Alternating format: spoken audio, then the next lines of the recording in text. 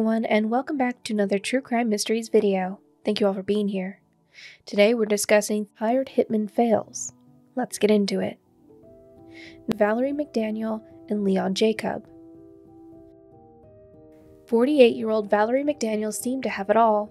She was a veterinarian with a successful practice in Houston, Texas. She split her time between her beach house on Tiki Island near Galveston, and she was often surrounded by friends who described her as a spirited individual that was caring but miserable. Despite the appearance of bliss, Valerie was experiencing decades of loneliness and heartbreak. She had recently separated from her husband of nearly two decades, Marion or Mac McDaniel III, a man who she discovered had almost never been faithful to her. He was often away, leaving her to deal with their business and child alone. He would go on extended hunting trips and vacations with his friends.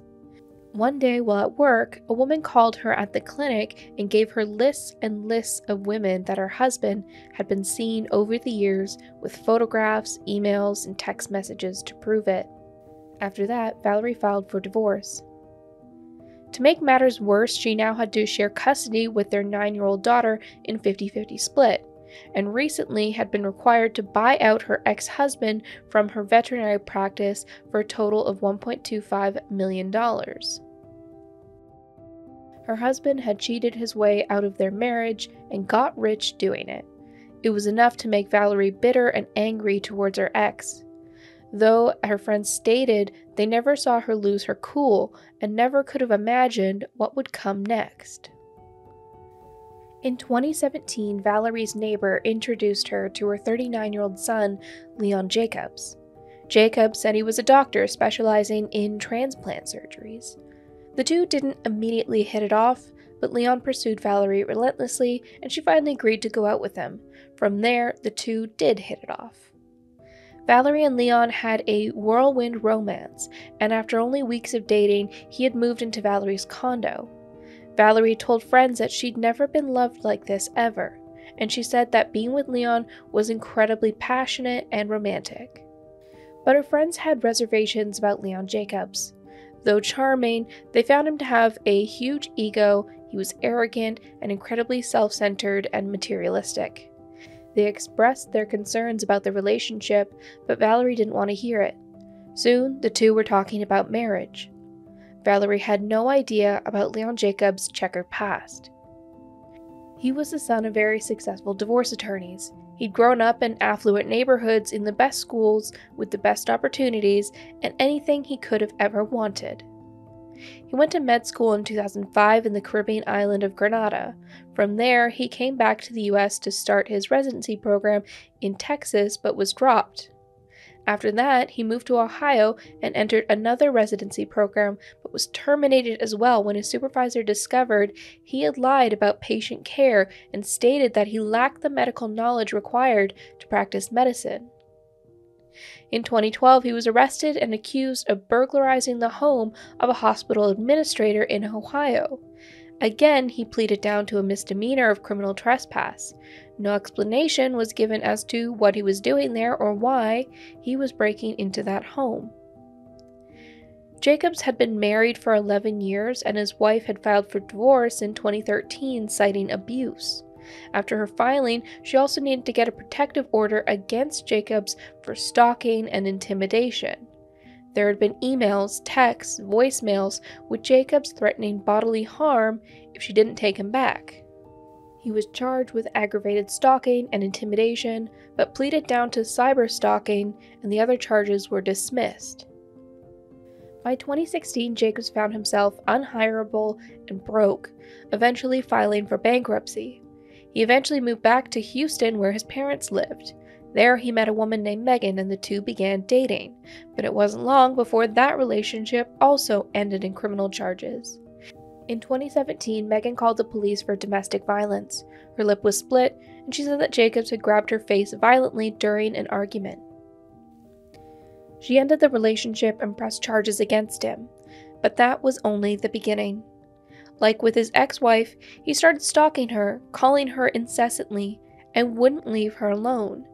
The assault charges were eventually dropped due to insufficient evidence, but there was enough evidence for a felony stalking charge, and Megan wasn't dropping it. It was a criminal case that he wasn't likely to win. Due to the criminal charges, Leon Jacobs was now ineligible to acquire a medical license in Texas with a felony. While Jacobs was dealing with his legal issues, Valerie was also having legal troubles. She wanted primary custody of her daughter, and her ex husband was fighting it, leading to a contentious custody battle. And one day, Jacobs came to her with a solution to both of their problems. A man he knew, named Motaz Azah, was going to take care of their issues. Azah was an ex military buddy of Jacob's, and for $5,000, two Cartier watches, and a MacBook, he was willing to take out Megan and Mac. Jacobs gave his buddy a deposit of $9,000, and then Azah disappeared. When he disappeared with his money, Jacobs reached out to a mutual acquaintance and revealed to him that Azah had stolen his money. When asked why Jacobs had given him the money, Jacobs revealed enough information to draw concern, and that acquaintance called law enforcement, believing Megan might be in danger. Police had been able to locate Azah and arrested him, and in order to avoid criminal charges himself, he was offered immunity to tell them what Jacobs had planned for his ex, and he took the deal. Law enforcement decided to set up a sting operation, which first involved protecting the potential targets in case someone else had been hired, and then Azah was sent in along with an undercover cop to meet with Jacobs and Valerie to discuss the murder for hire plot. The four met at an olive garden, sharing a booth in the corner. Valerie showed up having just left work, still wearing scrubs with her name embroidered on the chest. Jacobs orchestrated the conversation, careful to use broad language, but it was clear who was the driving force behind the plot. Between the unlimited salads and breadsticks, Jacobs revealed that he wanted Megan kidnapped and injected with potassium chloride to stop her heart and left to be found somewhere. For Mac, they felt a robbery gone wrong would be the best at his home when he didn't have their daughter. They would get the rest of the payment after the murders were carried out. Once that money was sent, they could both be arrested. Law enforcement arranged the fake deaths of the victims, posing them and setting crime scenes and taking detailed photographs. The evidence was sent and the final payment was made. When law enforcement showed up at Valerie's condo to deliver the death notice, when actuality Mac was in his car in the parking lot waiting to pick up his daughter once they were arrested. Law enforcement started by saying that Mac had been murdered, but then yelled, Cut! And started reading them their Miranda rights, informing the two that they would be arrested for attempting to solicit capital murder. Sarah, when Miss McDaniel emerged from the jail's processing center here about an hour ago, a group of energetic reporters, of course, pursued her for comment, but she did not seem to be in a conversational mood. Why would you want your ex husband killed? Out of jail on bail, but certainly not out of hot water. 48 year old Valerie McDaniel, a successful Montrose veterinarian, has a starring role in a sordid tale. Normally, it's more of a I guess, a high society crime, and the fact that they're the ones who can afford to have people killed. Police say McDaniel and 39 year old Leon Jacob, who Channel 2 has learned has been pretending to be a licensed doctor, plotted to kill their exes, say investigators, but the plan went south when they hired an undercover cop to carry out the murders. I would say, as far as going to the extent of making somebody up, pretending like they're killed, taking them pictures, this is not something we have not done before. That's right, the would be victims posed for fake crime scene photos. In McDaniel's case, her ex husband, who Channel 2 has learned was in a custody dispute with McDaniels, something his family wasn't ready to discuss Monday. No comments. Okay. okay. We do know McDaniel's co defendant, 39 year old Leon Jacob, was already accused of assaulting and stalking his ex girlfriend when police say he initiated the plan to have her killed.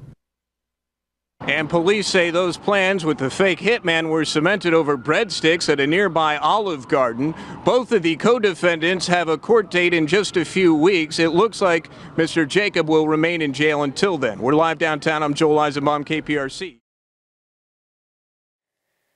They were arrested on March 10, 2017, and charged. Valerie was able to make bond and was released, but only days later, she jumped off her seventh floor balcony, committing suicide, leaving Leon Jacobs to head to trial alone.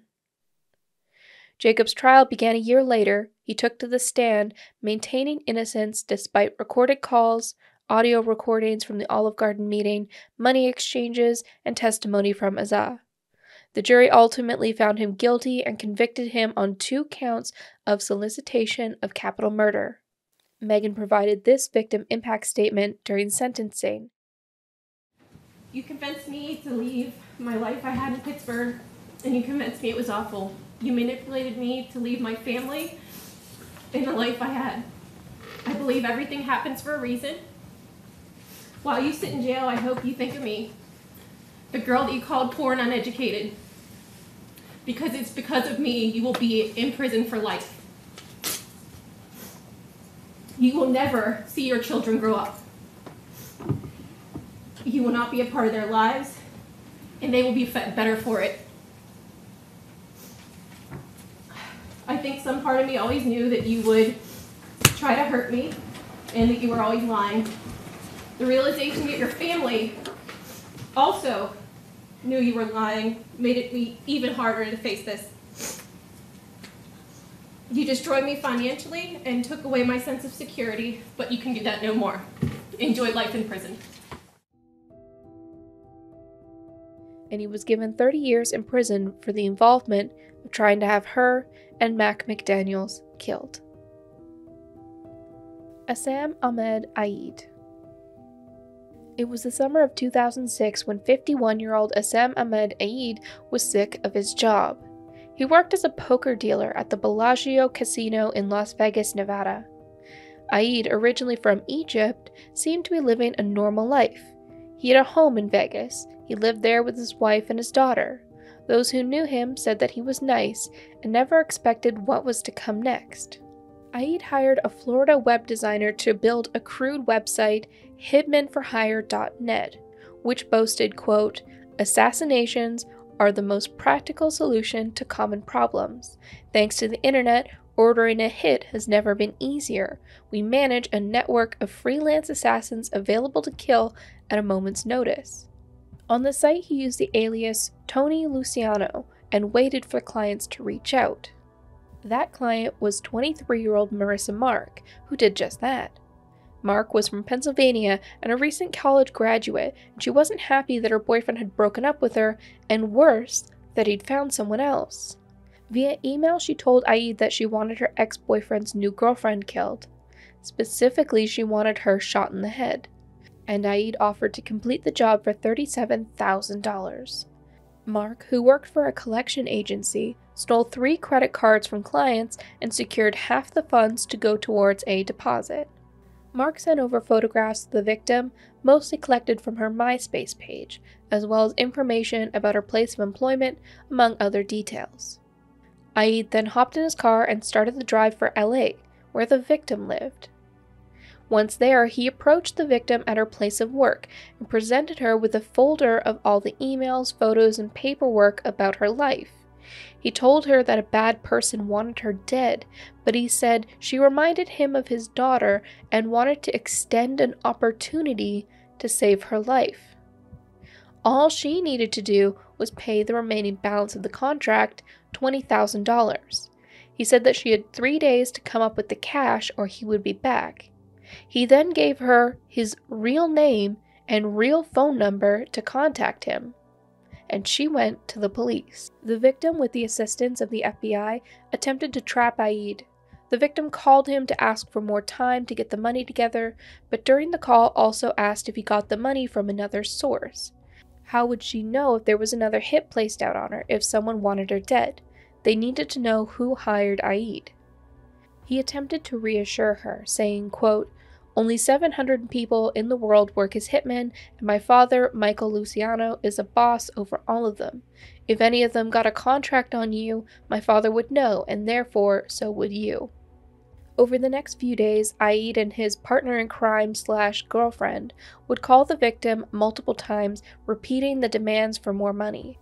The FBI instructed the victim each time to ask for more time to come up with the cash, which Aid would agree to. The victim never followed through with the money, nor did Aid follow through with the murder. Instead, when law enforcement went to arrest him, they discovered that he'd left the country. But it didn't appear that they knew they had been caught, as they didn't fly back to Egypt, where there was no extradition agreement with the US. Instead, flight records showed they flew to Ireland. Meanwhile, law enforcement searched Aid's home. On his computer, they found everything his email correspondence, Google searches for how to make silencers from household objects, where to buy cyanide, and then how to make ricin. In his emails, they discovered why they'd gone to Ireland.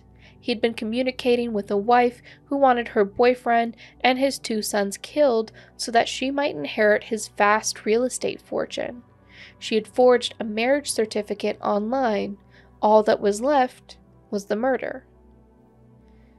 She forwarded as much information as she could to Aid, who she believed was Luciano. In her emails, she gave herself the nickname Lying Eyes and gave Aid $23,000 as a portion of her deposit.